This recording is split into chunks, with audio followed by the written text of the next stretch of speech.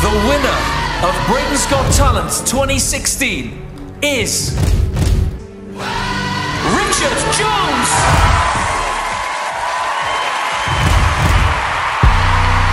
Good evening. Still warm. There is one. Oh, joke. Please read out the number